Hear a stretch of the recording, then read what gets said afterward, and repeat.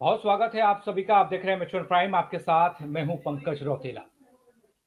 बात, आतंकवाद की होती है, बात पाकिस्तान की होती है और पाकिस्तान की तरफ़ से नापाक हरकतें की जाती हैं। कई मरतबा ऐसा देखा गया है और शायद वक्त वक्त पर यह कहा गया कि पाकिस्तान सुधर रहा है, लेकिन उसकी हरकतें अभी भी जारी हैं। अलग अलग तरीके से अलग अलग तौर तरीके अपनाकर वो भारत में अपने मंसूबों को कामयाब बनाना चाहता है, आतंकी कामयाब बनाना चाहते हैं, जो आतंकियों को पाकिस्तान पाल रहा है, पोस भी रहा है। बात अगर पंजाब की करें तो पंजाब की एक बड़ी सीमा पाकिस्तान से लगती है और सॉफ्ट टारगेट रहता है पाकिस्तानी आतंकियों का पंजाब। और पंजाब में एक बार फिर से ड्रोन के ज़रिए विस्फोटक फेंका गया, जो हालाँकि वक्त रहते पुलिस के हत्या चढ़ा है, पुलिस को मिला है और एक बड़ा खुलासा हुआ क्योंकि ये साजिश थी जो नाकाम हो गई। ये किसके लिए? हथियार ड्रोन के ज़रिए गिराए गए थे। ये सबसे बड़ा अब सवाल रहेगा, चुनौती रहेगी। वो कौन लोग हैं जिन तक, जिन हाथों तक ये हथियार और ये तमाम विस्फोटक टिफ़िन में जो बम रखे गए थे, जो ग्रेनेड, हैंड ग्रेनेड थे, वो किसके लिए थे? जो कारतूस थे, किसके लिए थे? ये जानने और समझने के लिए हमारे साथ रक्षा विशेषक मौजूद हैं। रक्षा विशेषज्ञ डी एस ढिलो साहब है। स्वागत है सर आपका। मैं जानना चाहता हूँ ये पा, पाकिस्तान की तरफ़ से बार बार हरकतें तो होती हैं लेकिन देखिए अब ये हरकतों को करने का तरीका भी बदल रहा है। जम्मू कश्मीर के कई इलाकों में बीते कुछ वक्त से ड्रोन देखे गए और जम्मू एयरफोर्स स्टेशन पर हमला भी हुआ बाकायदा और अब पंजाब के एक गाँव में अमृतसर के एक गाँव में ये इन विस्फोटकों का गिराया जाना क्या कहता है? स्वतंत्रता दिवस नज़दीक है।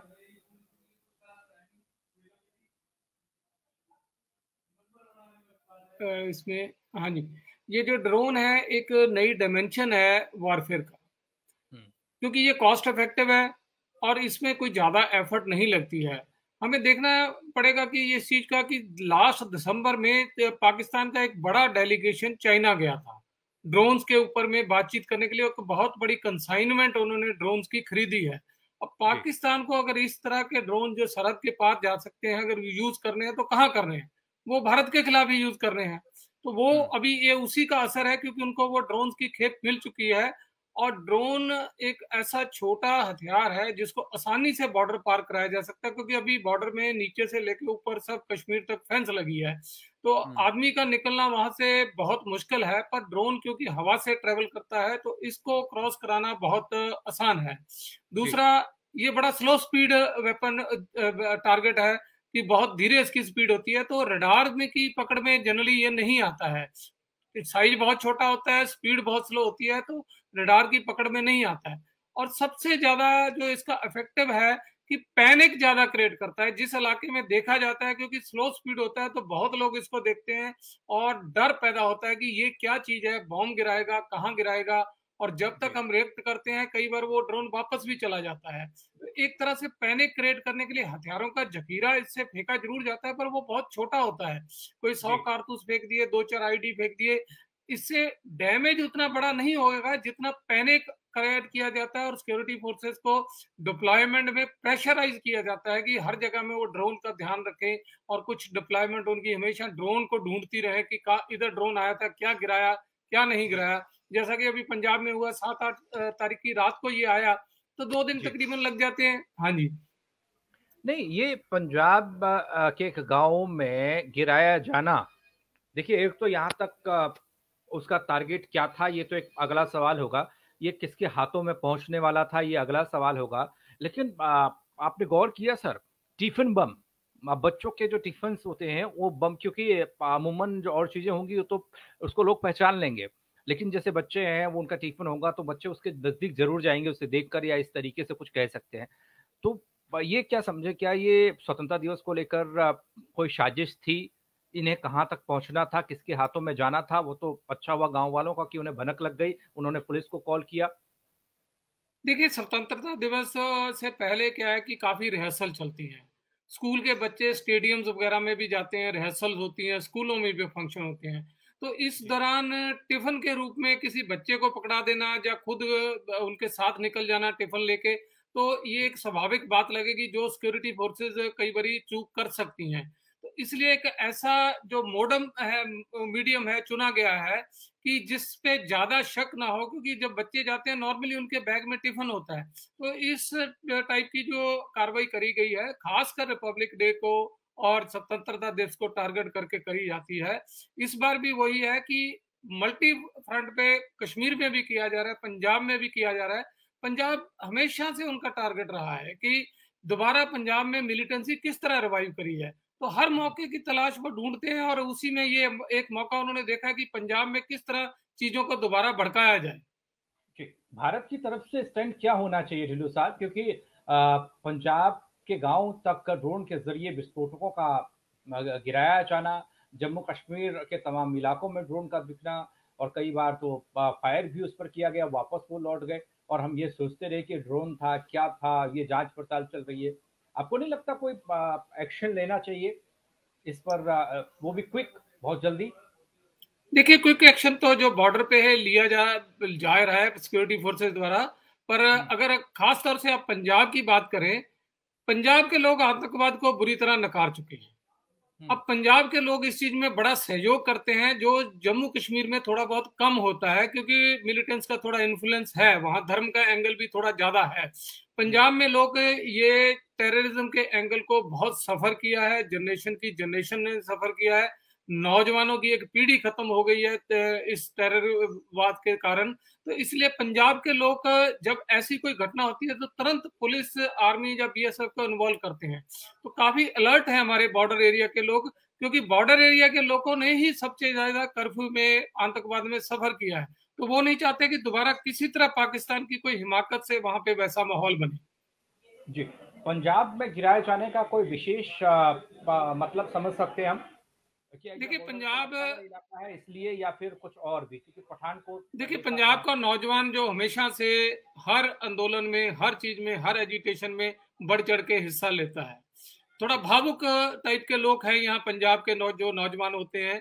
तो इसीलिए कोशिश करी जाती है कि नौजवानों को किसी तरह भड़काया जाए खालिस्तान के मुद्दे पे भड़काया जाए किसी और रिलीजियस मसले पे इन्वॉल्व करके उनको जो राष्ट्र विरोधी कार्रवाइयों में लगाया जाए। तो ये हमेशा, क्योंकि पाकिस्तान की कोशिशें बार बार फेल हो चुकी हैं, पाकिस्तान कोशिश करता है कि इंसर्जेंसी को रिवाइव किया जाए पाकिस्तान भारत में। और पंजाब में ये पॉसिबल नहीं है, ये पाकिस्तान को समझ लेना चाहिए, लोगों ने समझ लिया है, आतंकवाद को, चाहे वो ट्वेंटी ट्वेंटी का रेफरेंडम हो, चाहे कोई चीज़ हो, उसको बुरी तरह से पंजाब के लोगों ने नकारा है। और इस तरह छोटी मोटी घटनाओं से पाकिस्तान हमारा कुछ नहीं बिगाड़ सकता। हाँ एक तरह से पैनिक सिचुएशन बॉर्डर एरिया में जो क्रिएट हो जाती है, उसको ज़रूर संभालना होगा और ये संभालना पड़ेगा हमारी इंफॉर्मेशन शेयरिंग के द्वारा कि लोगों को पता रहे कि इस तरह का ऑब्जेक्ट है, इस तरह की चीज़ गिराता है तो तुरंत उसकी जो है, उसको छुए ना और जो भी पुलिस है बीएसएफ है जो नियरेस्ट है उनको इन्फॉर्म किया। साहब आपने खालिस्तान का ज़िक्र किया अभी। तो एक पन्नू का नाम आता है और बीते कुछ दिनों में देखा गया अलग अलग मुख्यमंत्रियों को पंजाब के मुख्यमंत्री इधर के मुख्यमंत्री उनको फ़ोन मैसेजेस के ज़रिए या धमकाने की कोशिश पंद्रह अगस्त को स्वतंत्रता दिवस के दिन आप तिरंगा न फहराएँ। इस तरीके की धमकी भी दी जा रही है। क्या इस तरीके से जोड़ सकते हैं इन दोनों मामलों को? देखिए बिल्कुल जोड़ सकते हैं। देखो हम हम सबको पता है ये पन्नू एंड पार्टी जो है इनको कौन स्पॉन्सर करता है। कहाँ कहाँ जब भी पंजाब में कुछ होता है, हिंदुस्तान में कुछ होता है तो इनको बाहर जो इंडियन एम्बेसी के सामने जब प्रदर्शन करने के लिए कौन सपोर्ट करता है? कौन वहाँ से फंडिंग करता है? अब पाकिस्तान में ननकाना साहब गुरुद्वारे पे अटैक हुआ तो ये पन्नू वगैरह कोई नहीं बोले, क्योंकि उनको पता है कि इनके आके वहाँ बैठे हैं। अगर वहाँ बोलेंगे तो ये उनको उठा के बाहर कर देंगे। तो इसलिए हमें बिल्कुल मालूम है कि ये नहीं बोलेंगे उनके खिलाफ, क्योंकि वो ही से फंडिंग आती है और वहीं से एम वही है भी किसी ना किसी तरह चाहे धर्म के नाम पे, चाहे खालिस्तान के नाम पे या आतंकवाद को भड़काया जाए, दोबारा अनरेस्ट पैदा करी जाए और इन लोगों ने जो बाहर बैठे हैं, विदेश में बैठे हैं, अपनी रोटियाँ सेकनी है। इन्होंने पॉलिटिकल असाइलम लिए हुए हैं, इन्होंने अपने धंधे चालू किए, ये यहाँ के नौजवानों को वहाँ इसी तरह और पॉलिटिकल असाइलम पे बुलाना चाहते हैं, अपने धंधे चलाना चाहते हैं। नहीं मौजूदा अगर हिंदुस्तान के स्टैंड को देखा जाए आतंकवाद को लेकर दुनिया के पटल पर किस तरीके से कितनी गंभीरता से इस देश ने बात रखी है वो हम सब जानते हैं लेकिन उन सब के बावजूद भी ऐसा लगता है कि पाकिस्तान पर दबाव बन तो रहा है लेकिन फिर भी वो दबाव नहीं बन पा रहा है जिससे कि वो अपनी हरकतें बिल्कुल बंद कर दे। या वहाँ जो आतंकी हैं उन आतंकियों पर वो नकेल कर सके। देखिए रणनीति का हिस्सा हो सकता है या फिर कुछ और? देखिए पाकिस्तान में बेशक डेमोक्रेसी है वो नाम की डेमोक्रेसी है।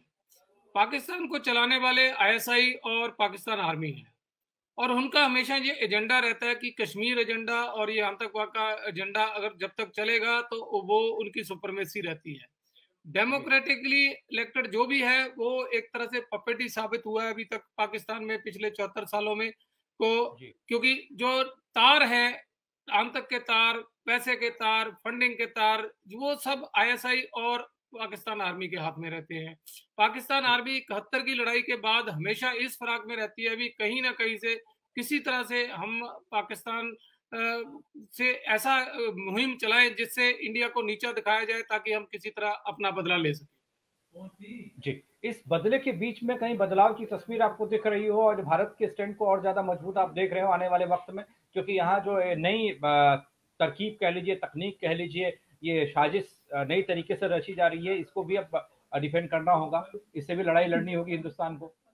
देखिए बिल्कुल लड़नी होगी पर उम्मीद बहुत अच्छी बनी है। किसी देश में आप ड्रोन भेजें और हथियार गिराएँ ये इतना आसान है क्या कि ड्रोन के ज़रिए आप सीमा को पार कर लें? हथियार ज़मीन के रास्ते नहीं आ सकते तो ड्रोन के ज़रिए आसमान के रास्ते भी नहीं आ सकते सब जानते हैं। अब ड्रोन देखिए ड्रोन के हाँ देखिए ड्रोन के रास्ते जो हथियार तो भेजे जा सकते हैं, पर उतनी तादाद में नहीं भेजे जा सकते कि जिससे कोई वाइबल इंसर्जेंसी यहाँ पे पैदा करी जाए। हाँ एक पैनिक क्रिएट किया जा सकता है, जो उसमें अभी इनिशियल फ़र्स्ट फ़ेज़ में वो कामयाब हो गए हैं। तो ऐसे ही पहले होता था, जब एक दो टेरर आ जाते थे, एक दो इंसिडेंट्स हो जाते, कोई ग्रेनेड फेंकने का इंसिडेंट हो जाता था तो उससे लगता था कि बहुत बड़ी सिचुएशन खराब है। पर धीरे धीरे चीज़ें नॉर्मलाइज हो गई हैं तो इसीलिए ड्रेन का भी अभी बॉर्डर एरिया में जो टेक्निक है, खैर, बाकी तो आर्मी अपने लेवल पे जो कर रही होगी, पर जैसे जैमर वगैरह लगाए जाएँगे, क्योंकि ये एक रेडियो फ्रिक्वेंसी पे काम करता है। अगर हम एग्जैक्टली exactly कौन सी फ्रिक्वेंसी पे काम करता है और किस तरह के उनके पास ड्रेन है, उसको स्टडी करके उस तरह से जैमर लगाएँगे तो वो बॉर्डर के इस पार होते ही इनफेक्टिव हो जाएगा, कहीं उसका आउट ऑफ़ कंट्रोल होकर कहीं गिर जाएगा और धीरे धीरे ये चीज़ें फेल हो जाएँगी क्योंकि ये मैंड नहीं है। वो कहीं से बैठ के कंट्रोल कर रहा है और अगर हम उसका लिंक ब्रेकअप करने में कामयाब हो जाते हैं ड्रोन के साथ जो ग्राउंड का लिंक है, उसको किसी तरह जैम करते हैं ब्रेक करते हैं कंफ्यूज कर देते हैं तो हम इसमें भी बहुत जल्दी काबू पा लेंगे, ऐसी कोई बड़ी खतरे की बात नहीं है ये। नहीं मैंने बस वो पूछा था कि बॉर्डर पार करना और इस तरीके से भेजना इसके इसके लिए कोई बाउंडेशन या कोई शर्त तो नहीं है ना? एक दूसरे एक एक देश से दूसरे देश में अगर कोई चीज़ जा रही है किसी भी नहीं नहीं बिल, बिल्कुल है। देखिए बॉर्डर के पास भी जो नो मैंस लैंड होता है वहाँ पे भी कोई हरकत आप नहीं कर सकते हैं बल्कि जो हमारी फेंस लगी हुई है वो तकरीबन 500 मीटर अंदर है। हम बॉर्डर के ऊपर एग्जैक्टली जहाँ लाइन ऑफ़ कंट्रोल है जहाँ हमारी इंटरनेशनल बाउंड्री है वहाँ पे फेंस नहीं है। हम 500 मीटर के अंदर कोई कंस्ट्रक्शन नहीं कर सकते हैं। तो इसी तरह ये एयर स्पेस की वायलेशन है सीरियस वायलेशन है। हम किसी ड्रोन रडार या एयरक्राफ्ट को दूसरे कंट्री के अंदर नहीं भेज सकते हैं। तो ये एक सीरियस वायलेशन है। हमें उस पर जो डिप्लोमेटिकली भी स्टैंड लेना होगा कि इस तरह से कैसे कोई भी चीज़ जो उड़ने वाली है, हमारे एयर स्पेस में आ जाती है। जी। लेकिन इस बार तो ढिलो साहब, एक चीज़ ये देखी गई कि आपने कहा कि बहुत ज़्यादा इसे इसलिए गंभीर नहीं लिया जा सकता क्योंकि बहुत बड़ी मात्रा में विस्फोटक नहीं ले जा सकता। लेकिन तस्वीर तो ये दिखी कि आईडी आ गई, हैंड ग्रेनेड आ गए, बम आ गए, टिफ़िन बम आ गए, कारतूस आ गए, तमाम चीज़ें तो आ गई। चलिए, वक्त थोड़ा कम है, बहुत शुक्रिया, आप हमारे साथ जुड़े, आपने वक्त निकाला, लेकिन इस चुनौती से भी अब हिंदुस्तान को निपटना होगा, सर। बहुत शुक्रिया आपका हमारे साथ जुड़ने के लिए।